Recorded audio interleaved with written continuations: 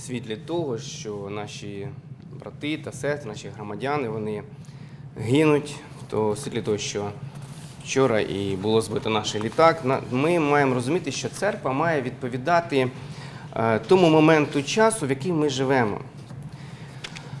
І тому сьогоднішня тема, тема сьогоднішньої проповіді буде називатися так.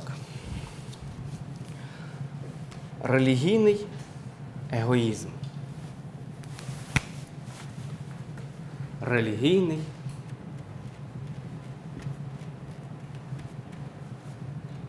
релігійний егоїзм. Егоїзм. Отже, ми сьогодні говоримо про релігійний егоїзм. Е, всі християни знають відому притчу про доброго самарянина. Я хочу, щоб ми її повернулися і трошечки розглянули і зрозуміли, що ж це таке оцей релігійний егоїзм. Отже, притча про доброго самарянина це Євангелія від Луки, 10 розділ, 30, 30, від 30 по 36 вірші. Зараз читаємо. А Ісус відповів. Притча була відповідь на певне запитання. Але зараз ми прочитаємо саму притчу, а тоді запитання. А Ісус відповів і промовив: один чоловік ішов з Єрусалиму до Єрихону і попався розбійникам, що обдерли його, і завдали йому рани та й утекли, покинувши ледве живого. І проходив випадком тією дорогою священик один, і побачив його, і проминув. Так само і Левит прийшов на те місце, поглянув і теж проминув. Да? Левит вже й поглянув. І проходив там якийсь самарянин, та й натрапив на нього, і, побачивши, змилосердився. І він підійшов, і обв'язав рани йому, і наливши оливи й вина, пот- е, потому е, омив, обв'язав рани йому, наливши оливи й вина, потому він посадив на худобину власну і приставив е, його до гостиниці та й клопотався там про нього. А другого дня, від'їжджаючи, вийняв він два динарії та й дав їх господареві і проказав. Е, Заопікуйся за ним. Як більше що витратиш, заплачу тобі, як вернуся. І питання таке Ісус задає: котрий же на думку е, твою був ближній тому, хто попався розбійникам? Це була сама притча. Три, ось ішов один чоловік. Ось його побили, обдерли, пограбували, він лежить ледь живий. Іде священик, він здалеку побачив, е, пройшов, пішов далі.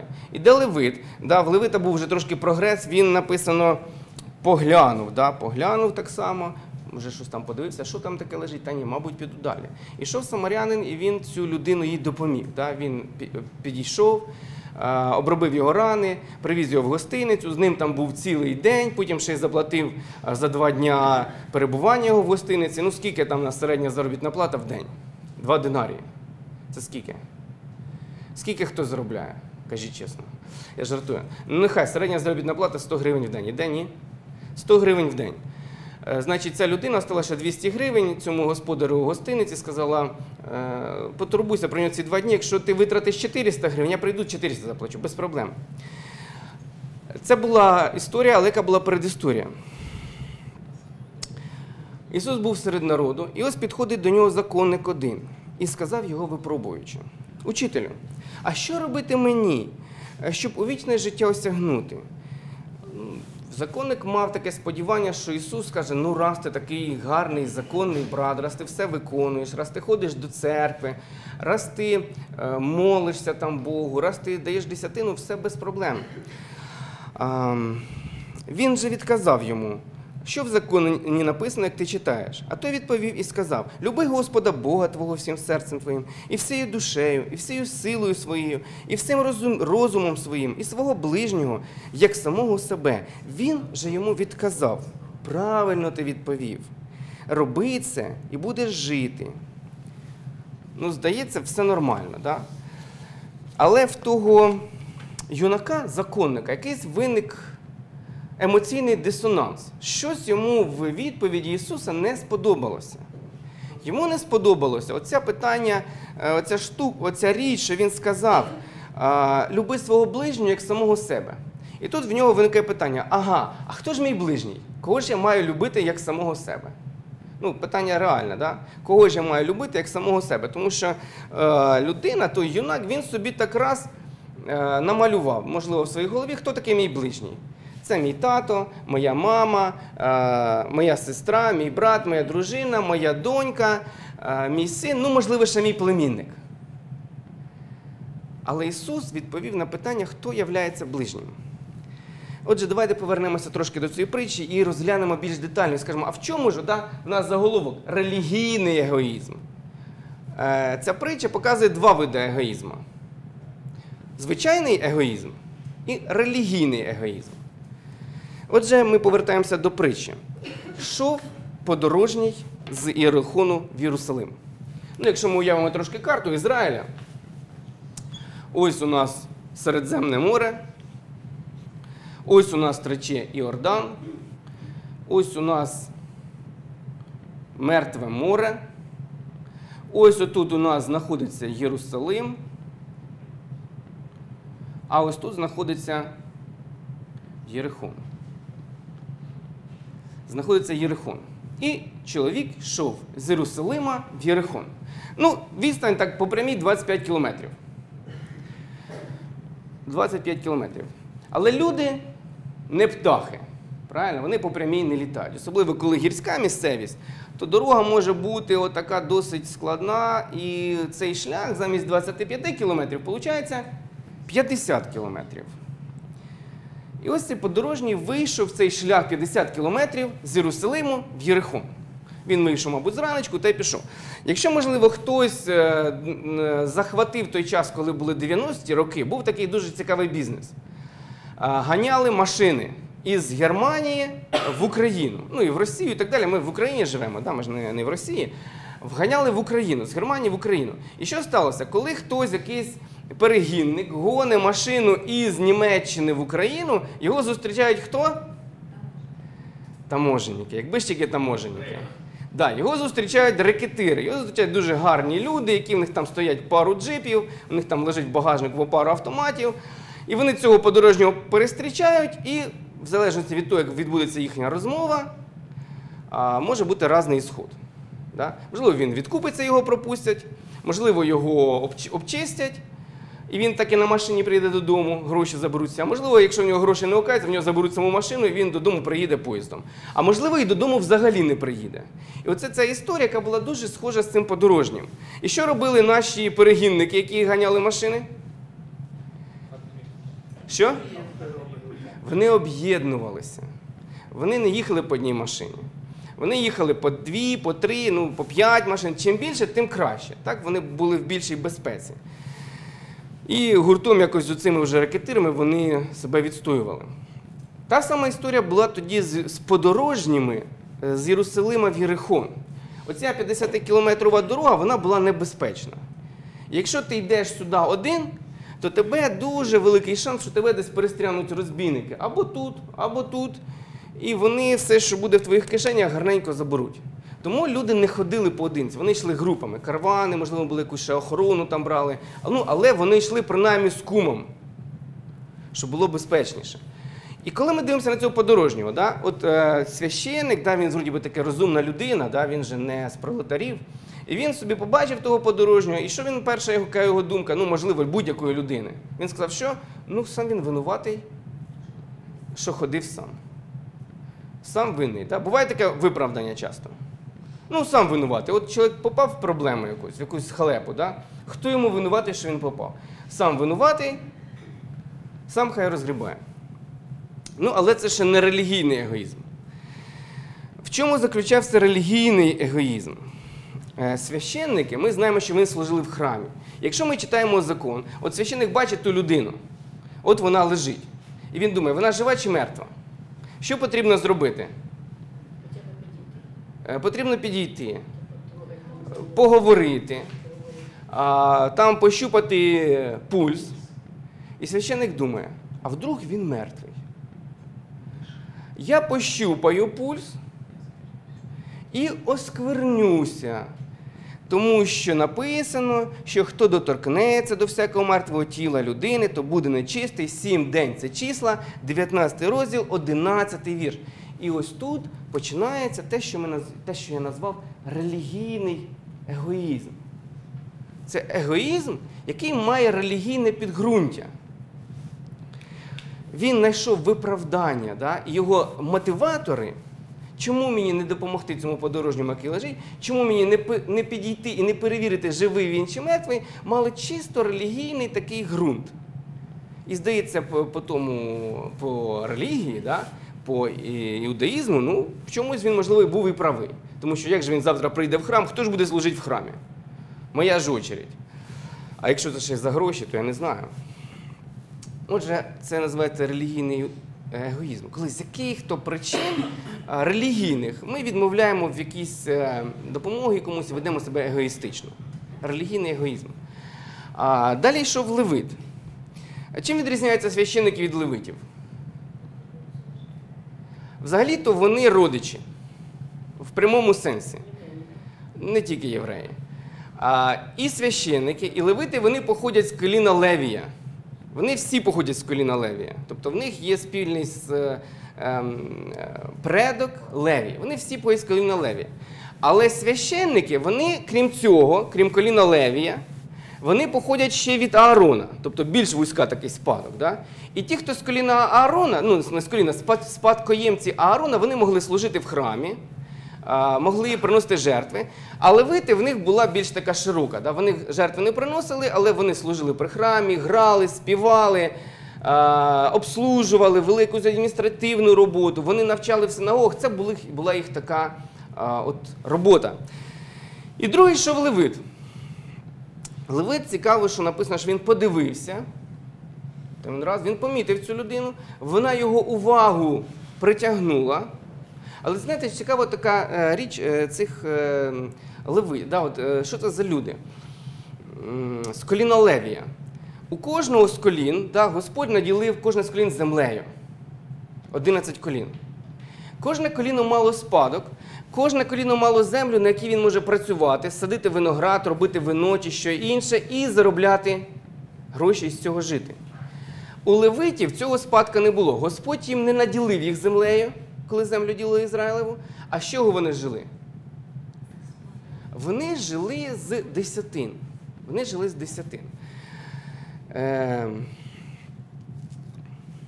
Вони жили з десятин.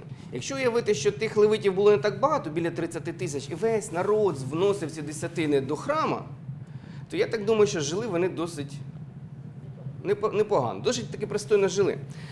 І от ця людина, левит, який звик нормально жити, який ну, виконував таку білу професію, він е, землю не, не орав, виноград не давив, е, кіз баранів не пас. Ну, це людина такої, знаєте, професії, от як, як уявити, знаєте, при Совєтському Союзі був селянин і був інженер. Да? От що, і, і, і був е, голова колгоспу, або, або там, знаєте, от, ну я не знаю, агроном. Да? Оце така от людина, от там, оце селяни, колгоспники, а оце агроном. Тобто це геть людина другого плану. І от іде цей агроном, і там лежить селянин. І він подивився і думає, так. Він привик до, до безпечного життя. Подивився і думає, так, що мені робити? І він, як всяка розумна людина, він же не селянин, да? він собі розуміє, що іноді і таке трапляється, такі бувають, такі речі роблять і зараз. Да? От сидить людина біля дороги, наче постраждала. Їдеш ти машиною, да? ну, ті самі 90-ті роки, тут ти зупиняєшся і дивишся, що з цією людиною? Тут швидко з кущів вилітають три, три типочка, тобі дають щось хороше, сідають в твою машину і їдуть. І саме ці думки були в цього левита. Він побачив, але він свою безпеку він оцінив сильніше. Це вже не релігійний е, егоїзм, це побутовий егоїзм. От така здравий сенс. І ось Ісус розказує історію далі. Прийшов релігійний егоїст священник, прийшов побутовий егоїст левит, і ось іде самарянин. І ось іде самарянин. І от знаєте, коли Ісус говорить, і ось іде самарянин тою дорогою. А слухачі слухають цю притчу і думають, а що ж зробить самарянин? Вони думають, ну раз священник проминув його і не оказав милість, раз левит не проминув і не оказав милість цьому подорожньому, то що має зробити самарянин? Він має підійти, ну він же негідник, да? Іудеї з самарянами не общалися. А, то вони думали, що самарянин має підійти до того подорожнього, зняти з нього взуття, зняти з нього одежу, вигрібти там з нього всю дріб'язок з кишень і залишити його лежати там що? Голим. Да? Але не тут то сталося. Самарянин підійшов, подивився, пішов на той ризик, він не сказав, може там за камінням, за кущами сидять якісь бандити. Ну, можливо, самарянин не сам був, звісно. Підійшов, омив його рани, обробив його, посадив на свого віслюка, довіз до, до гостиниці, пробув з ним цілий день.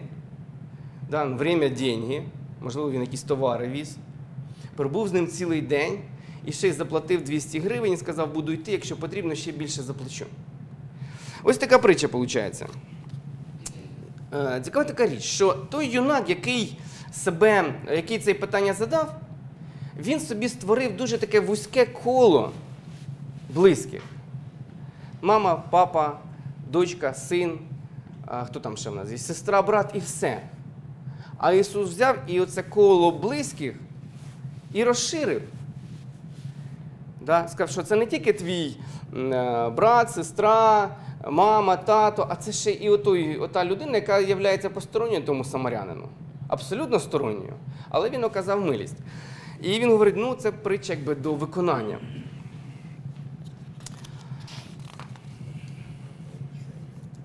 Да, Ісус це коло розширив. Іноді да, християни вони це коло звужують також. Вони бачать християн, братів та сестер церкви і більше нікого не бачать. Ну добре, якщо ще братів та сестер церкви бачимо. Іноді їх теж не бачимо. До речі, я хочу згадати да, про ближніх, що вчора в літаку загинув наш земляк Віталій Бабанчик, 20 років, родом з помічної. Це 20, е, 25-та окрема Дніпропетровська повітряна десантна бригада. Також, е, наприклад, вчора загинув е, один із е, пастирів, один із е, пастирів однієї з харизматичних церков в Луганській. Ну, це була випадкова гибель. Він проїжджав біля машини, в яку була закладена вибухівка, і він загинув. Да? І от цікаво, що от коли от починаються такі події, є такі події, які відбуваються в нашій країні, і ми, як от якийсь самарянин, да, чи хто там, чи священик, чи левит, то в наше око, виявляється, впадають ну, дуже багато людей, які потребують цієї допомоги. І ми можемо сказати, ну, зробити такий релігійний, е, керуючись таким релігійним егоїзмом, сказати, ну, то є не наша справа, можливо, то є справа нашої держави. Ну, або ще щось. Або якимось практичним егоїзмом керуючись, як левит. Да? Сказати, ну, ну це нам буде дорого, наприклад, або небезпечно, або ще щось. А, іноді, знаєте, от е, християни ведуть себе як е, розбещена дитина. Значить, ну, як балована дитина.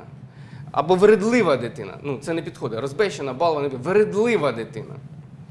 Колись дуже багато років назад, коли моєму ромі було, мабуть, роки за три, відбулася одна історія. Коли ми раніше не було в нас, такого не відбувалося ніколи. Ми пішли до одних друзів.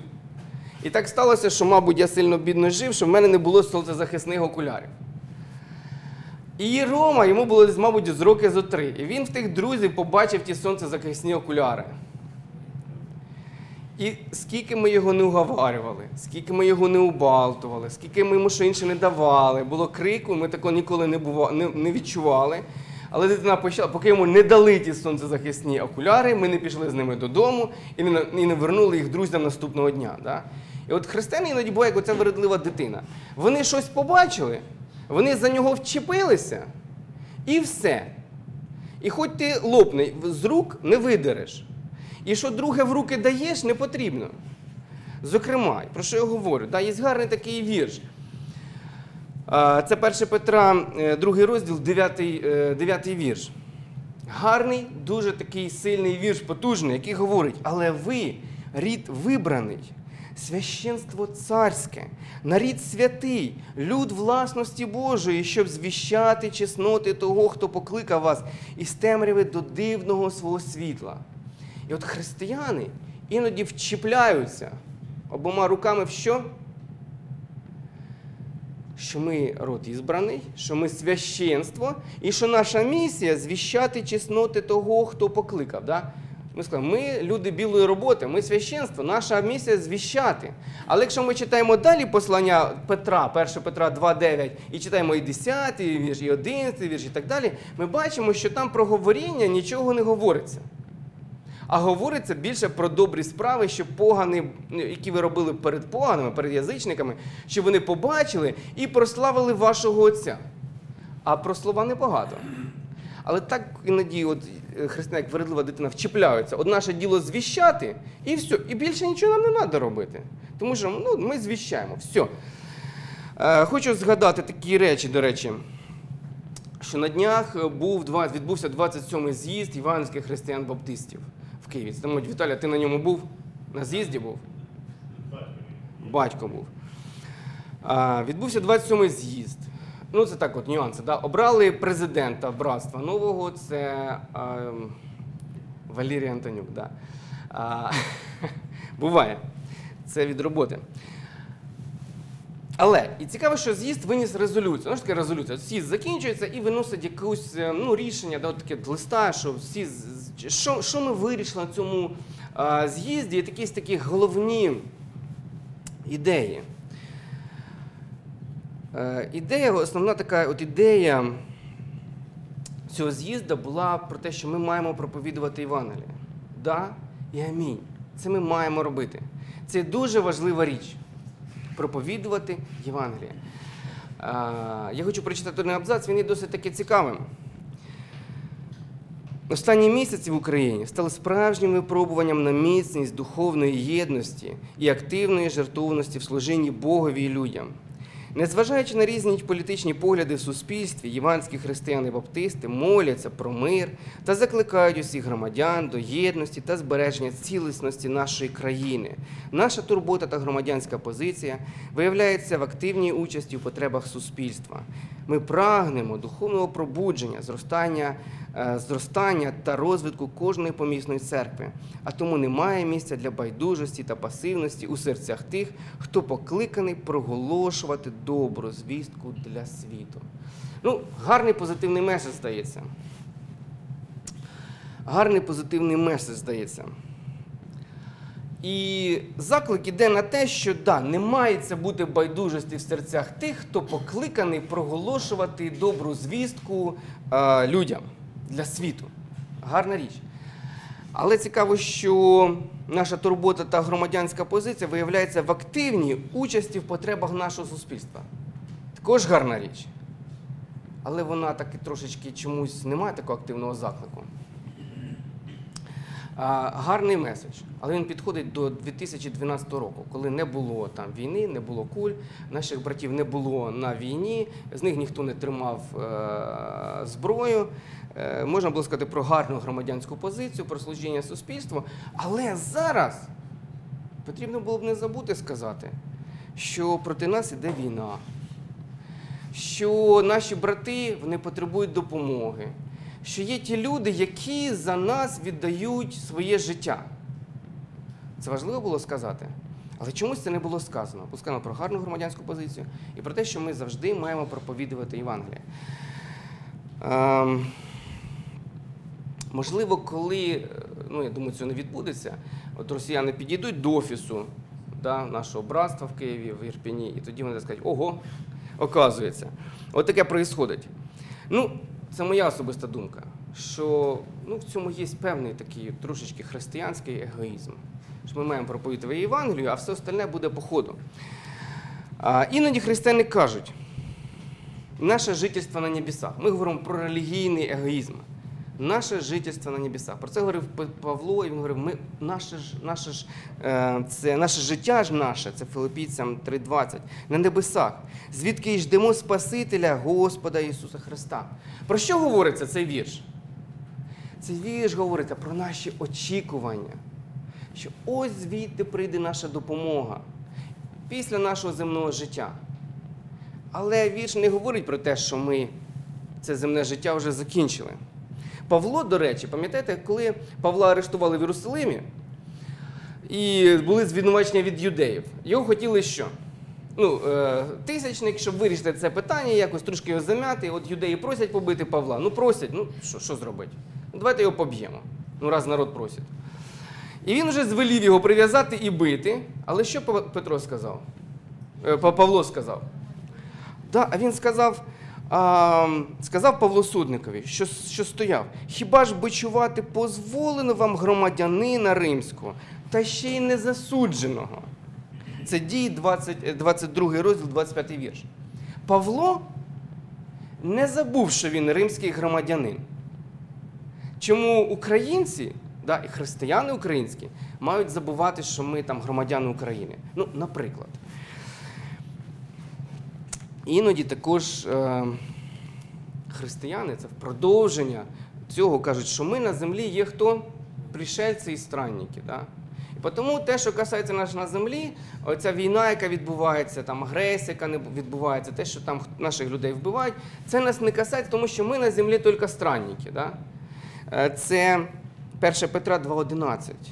Благаєш вас, любі, як приходьків та подорожніх. До чого би благає Петро? Не від того, щоб ви відсторонилися від всього і вся, і на все закривали очі, а від е, того, від тілесних пожадливостей, що воюють проти душі вашої, від тілесних пожадливостей, зажерливості, да, що там ще е, серебролюбства, користолюбства, якоїсь там похоті. Да? Що ти кажеш, Андрій?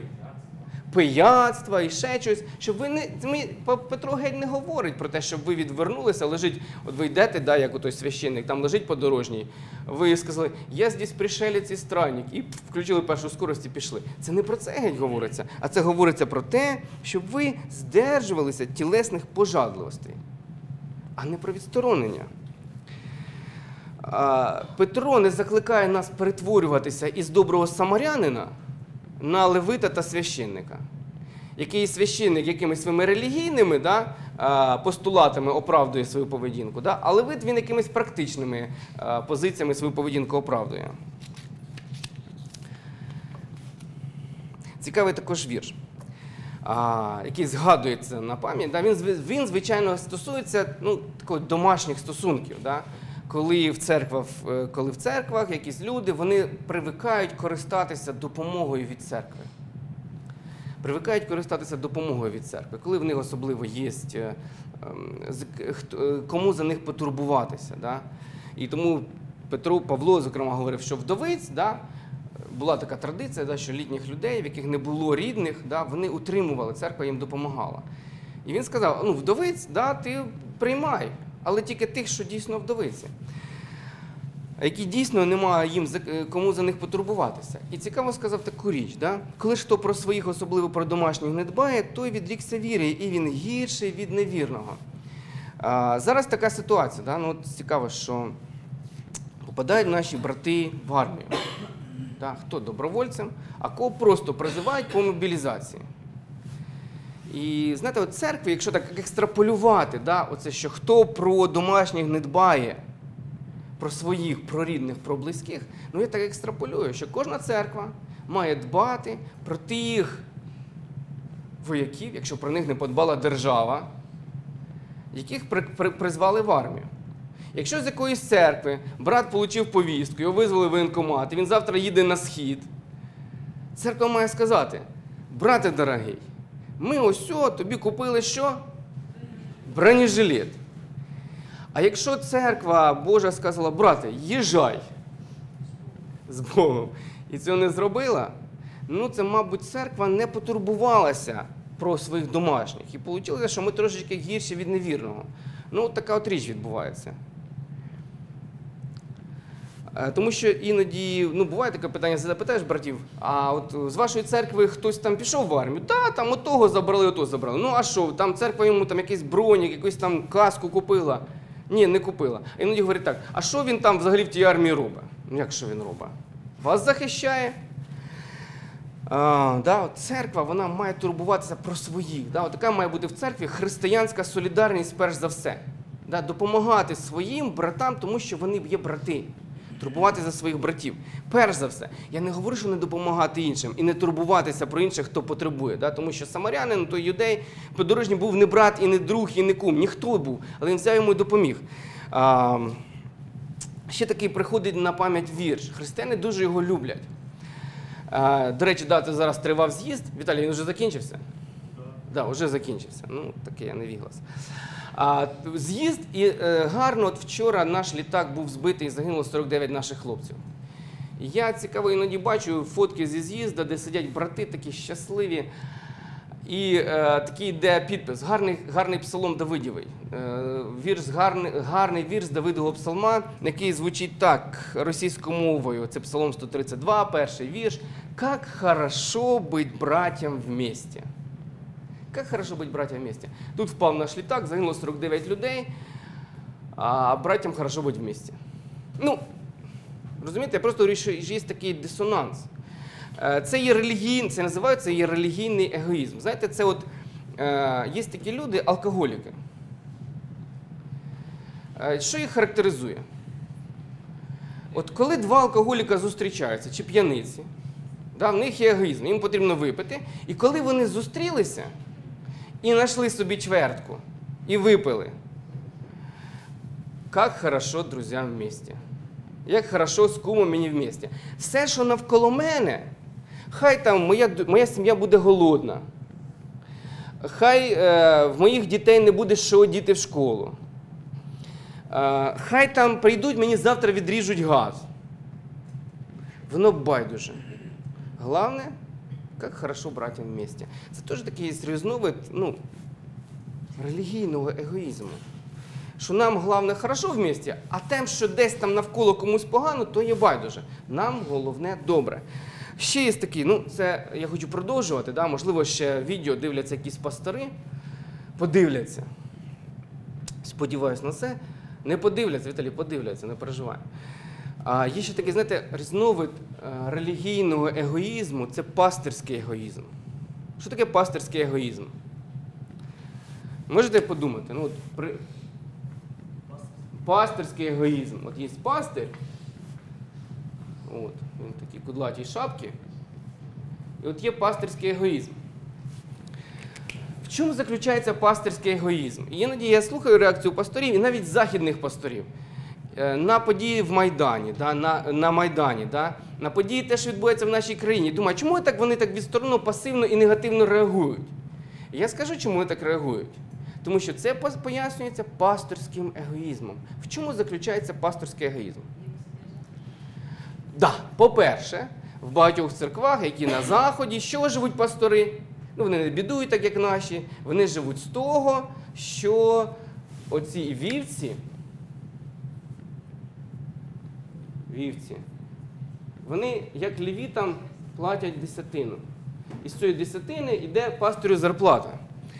І всякий пастир, який в американській церкві або в європейській церкві, в нього перша думка: якщо моя оця вівця побіжить на якийсь майдан, на Майдан Незалежності побіжить, да?